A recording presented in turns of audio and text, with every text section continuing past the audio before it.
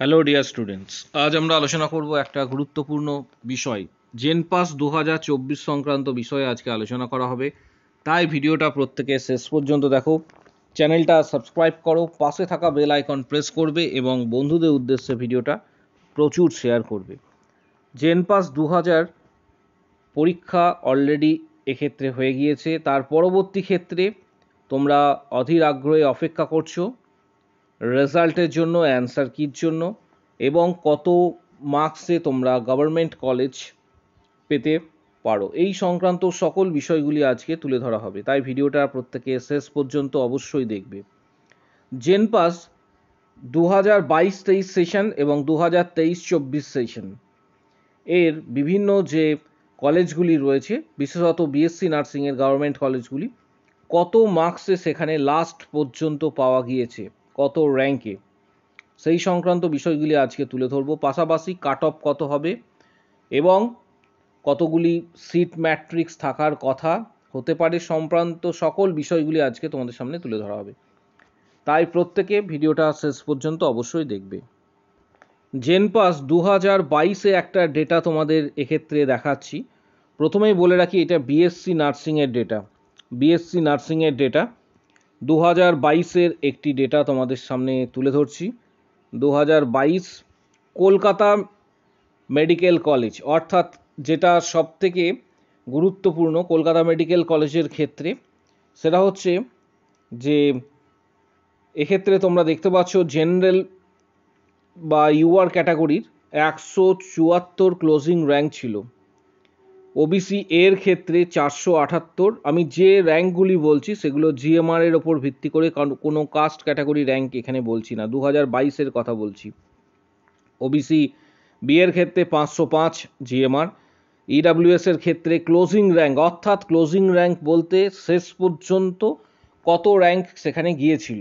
অর্থাৎ কত GMR last কত জিএমআর সেখানে সুযোগ পেয়েছে। ইডাব্লিউএস এর ক্ষেত্রে ছশো আটচল্লিশ এসসির ক্ষেত্রে ষোলোশো বিরাশি এবং এসটির ক্ষেত্রে চার হাজার পাঁচশো ছাপ্পান্ন। এটা দু হাজার বাইশের ডেটা কিন্তু দু হাজার তেইশের নয় দু হাজার বাইশের ডেটা পাশাপাশি তোমাদের এসএসকেএম পশ্চিমবঙ্গের সবথেকে জনপ্রিয়, অর্থাৎ পিজি হসপিটাল এসএসকেএম এর ডেটা তোমাদের এখানে দেখাচ্ছি। সেকেন্ড যে ডেটাটা রয়েছে দু হাজার বাইশের এখানে দেখতে পাবে এসএসকেএমে আমি একটু জুম করে দিচ্ছি। এখানে এসএসকেএমে যে ডেটাটা রয়েছে, সেটা হচ্ছে ইউআর ক্যান্ডিডেটদের ক্ষেত্রে, যেটা লাস্ট ক্লোজিং র্যাঙ্ক গিয়েছিল সেটা হচ্ছে একশো সত্তর ওবিসি এ চারশো একচল্লিশ ওবিসি বি চারশো একানব্বই ইডাব্লিউএস এর ক্ষেত্রে ছশো তিরিশ। এটা দু হাজার বাইশের ডেটা এসসির ক্ষেত্রে চোদ্দোশো ষাট এবং এসটি ক্যাটাগরির ক্ষেত্রে আট হাজার নশো।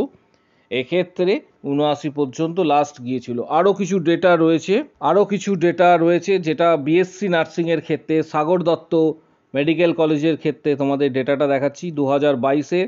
এক্ষেত্রে ইউআরের সাগর দত্ততে কিন্তু ক্লোজিং র্যাঙ্ক যেটা গিয়েছিল, অর্থাৎ ক্লোজিং র্যাঙ্ক যেটা, সেটা জেনারেল ক্যাটাগরির ক্ষেত্রে বা ইউআর ক্যাটাগরির ক্ষেত্রে তেরোশো পঁচিশ ওবিসি এর ক্ষেত্রে দু হাজার ছশো চোদ্দ ওবিসি বি এর ক্ষেত্রে এক হাজার ছশো একষট্টি ইডাব্লিউএস এর ক্ষেত্রে এক্ষেত্রে তিন হাজার সাতশো এক এসসি ক্যাটাগরির ক্ষেত্রে তিন হাজার পাঁচশো চুয়ান্ন এসটির ক্ষেত্রে উনিশ হাজার পঁচিশ পর্যন্ত দু হাজার বাইশে লক্ষণীয় বিষয় সাগর দত্ততে এক্ষেত্রে দু হাজার বাইশে এসটি ক্যাটাগরির উনিশ হাজার পঁচিশ পর্যন্ত লাস্ট র্যাঙ্ক গিয়েছিল closing rank North Bengal medical college খুবই গুরুত্বপূর্ণ একটা মেডিকেল কলেজ এখানে বিএসসি নার্সিংয়ের দু হাজার বাইশের যে ডেটাটা তোমাদের সামনে তুলে ধরবো। এক্ষেত্রে ইউআর ক্যাটাগরির ক্ষেত্রে চোদ্দোশো আট ওবিসি এর ক্ষেত্রে উনিশশো পঁচাত্তর ওবিসি বি এর ক্ষেত্রে সবটাই জিএমআর র্যাঙ্কের ওপর ভিত্তি করে ষোলোশো সাঁত্রিশ ইডাব্লিউএস এর ক্ষেত্রে পাঁচ হাজার উনতিরিশ এসসি ক্যাটাগরির ক্ষেত্রে তিন হাজার পাঁচ এসটির ক্ষেত্রে পনেরো হাজার বত্রিশ পর্যন্ত লাস্ট গিয়েছিল ক্লোজিং র্যাঙ্ক নেক্সট আরেক, আরেকটি ডেটা তোমাদের এক্ষেত্রে দেখাচ্ছি, সেটা হচ্ছে বাঁকুড়া সম্মিলনী মেডিকেল কলেজ গুরুত্বপূর্ণ একটি মেডিকেল কলেজের আন্ডারে বিএসসি নার্সিংয়ে কত পর্যন্ত ক্লোজিং র্যাঙ্ক গিয়েছিল দু হাজার বাইশে। ডেটাটা কিন্তু দু হাজার বাইশের ডেটা এক্ষেত্রে তোমাদের বলে রাখি ইউআর ক্যাটাগরির ক্ষেত্রে সাতশো আশি জিএমআর ওবিসি এর ক্ষেত্রে দু হাজার পাঁচশো আঠাশ ওবিসি বি এর ক্ষেত্রে চোদ্দোশো চৌষট্টি ইডাব্লিউএস এর ক্ষেত্রে সতেরোশো সাতষট্টি এসসি ক্যাটাগরির ক্ষেত্রে চার হাজার ছিয়াত্তর এসটির ক্ষেত্রে আট হাজার পাঁচশো একুশ পর্যন্ত গিয়েছিল। এবার তোমাদের দেখাবো আসানসোল ইএসআই এটি কিন্তু এটাতে কত গিয়েছিল? আসানসোল ইএসআই দু হাজার বাইশের ডেটা তোমাদের সামনে এই মুহূর্তে দেখাচ্ছি। এক্ষেত্রে ইউআর ক্যাটাগরির ক্ষেত্রে দু হাজার একশো সাতষট্টি দু হাজার একশো সাতষট্টি গিয়েছিল। ওবিসি এর ক্ষেত্রে চার হাজার সাতাশ ওবিসি বি এর ক্ষেত্রে তিন হাজার পঁয়ষট্টি ইডাব্লিউএস এর ক্ষেত্রে তিন হাজার তিনশো আটত্রিশ এসসি ক্যাটাগরির ক্ষেত্রে পাঁচ হাজার নশো পঁচানব্বই এসটির ক্ষেত্রে এক পনেরো হাজার তিনশো দশ পর্যন্ত গিয়েছিল আসানসোল ইএসআই হসপিটালে, কাট অফ বিএসসি নার্সিংয়ের ক্ষেত্রে। জেনপাসে এবছর সম্ভবত, জেনপাসে এবছর সম্ভবত দু হাজার চব্বিশের কথা বলছি, যেরকম কোশ্চেনের স্ট্যান্ডার্ড হয়েছে, সেই অনুপাতে অ্যানালিসিস করার পর সেভেন্টি প্লাস যারা স্কোর করবে, তাদের ক্ষেত্রে একটা বিষয়, এক থেকে পঞ্চাশের মধ্যে র্যাঙ্ক হওয়া কিন্তু সম্ভব রয়েছে। পঁয়ষট্টি থেকে সত্তরের মধ্যে যারা স্কোর করবে, তাদের জিএমআর একান্ন থেকে দুশোর মধ্যে আসতে পারে। ষাট থেকে পঁয়ষট্টির মধ্যে যারা স্কোর করবে এবছর, অর্থাৎ দু হাজার চব্বিশের কথা বলছি দু হাজার চব্বিশে সম্ভবত এক্ষেত্রে তোমাদের ষাট থেকে পঁয়ষট্টি যারা স্কোর করবে, তাদের দুশো এক থেকে পাঁচশোর মধ্যে আসার সম্ভাবনা রয়েছে। তারপর পঞ্চাশ থেকে ষাট পর্যন্ত যারা স্কোর করবে, তাদের পাঁচশো এক থেকে হাজারের মধ্যে আসার সম্ভাবনা রয়েছে। চল্লিশ থেকে পঞ্চাশের মধ্যে যারা র্যাঙ্ক, এক্ষেত্রে স্কোর করবে, হাজার এক থেকে পাঁচ হাজারের মধ্যে আসার সম্ভাবনা রয়েছে। তিরিশ থেকে চল্লিশের মধ্যে যারা স্কোর করবে পাঁচ হাজার এক থেকে পনেরো হাজারের মধ্যে আসার সম্ভাবনা, কুড়ি থেকে তিরিশের মধ্যে যারা স্কোর করবে, পনেরো হাজার এক থেকে পঁয়ত্রিশ হাজার পর্যন্ত জিএমআর আসার সম্ভাবনা কিন্তু এবছর রয়েছে। জেনপাসে দু হাজার তেইশের কিছু ডেটা আমি তোমাদের দেখাচ্ছি। অর্থাৎ যে সকল স্টুডেন্টরা এক্ষেত্রে দু হাজার তেইশে এক্সাম দিয়েছিল, তাদের কিছু ডেটা আমি তোমাদের শো করছি। এক্ষেত্রে মার্কস হয়েছিল sixty five point nine three rank এসেছিল র্যাঙ্ক এসেছিল কিন্তু এক্ষেত্রে একশো বিয়াল্লিশ। Marks sixty two point nine seven rank এসেছিল দুশো চুয়াল্লিশ। দু হাজার তেইশের ডেটা কিন্তু এটা, গত বছরে বিয়াল্লিশ পয়েন্ট এক্ষেত্রে পাঁচ আট র্যাঙ্ক এসেছিল চার হাজার পাঁচশো এক। Fifty one point two five double zero এক্ষেত্রে র্যাঙ্ক এসেছিল ওয়ান থ্রি সিক্স এইট তারপর thirty six point four one six rank এসেছিল নাইন সিক্স ফোর এইট পরবর্তী ক্ষেত্রে এখানে কিছু ডেটা রয়েছে, এগুলো তোমরা একটু দেখে নিও। আরও কিছু ডেটা আমি তোমাদের অ্যানালিসিস করে দিচ্ছি। গতবারের ডেটা মার্কস এক্ষেত্রে এসেছিল thirty four point two five zero rank এসেছিল one, two, three, four, six, অর্থাৎ বারো হাজার তিনশো ছেচল্লিশ এসছিল। মার্কস তেত্রিশ পয়েন্ট, এক্ষেত্রে আট, তিন তিন র্যাঙ্ক এসেছিল। বারো হাজার আটশো তিয়াত্তর, সর্বশেষ যেটা আমি তোমাদের দেখাবো, থার্টি পয়েন্ট টু নাইন এবং র্যাঙ্ক এসেছিল গতবারের ক্ষেত্রে আঠেরো হাজার তিনশো একষট্টি। এই ডেটাগুলো থাকলে তোমাদের অ্যানালিসিস করা অনেকটাই সুযোগ রয়েছে এবং সুবিধা থাকছে। এছাড়া ওয়েবসাইটে তোমরা এন অবশ্যই গিয়ে, সেখানে গিয়ে অবশ্যই তোমরা ও আর সিআর পোর্শনটা দেখে নেবে। দু হাজার তেইশের অনেক কিছু ডেটা তোমরা পাবে। টেন পাসের সেফ র্যাঙ্ক এরপরে কাট অফ নিয়ে আমরা অ্যানালিসিস করব। সেফ র্যাঙ্ক এর থেকেও বেশি র্যাঙ্কে পাওয়া সম্ভব। কিন্তু মোটামুটি তোমাদের একটা বলে রাখছি বিষয়। এর থেকে বেশি র্যাঙ্কে কিন্তু পেয়েছে। কিন্তু এবছরের মোটামুটি একটা সেফ র্যাঙ্ক তোমাদের দিয়ে রাখছি। সেটা হচ্ছে ইউআর ক্যাটাগরির ক্ষেত্রে তিন হাজার তিনশো পঞ্চাশ জিএমআর পর্যন্ত সেফ থাকবে।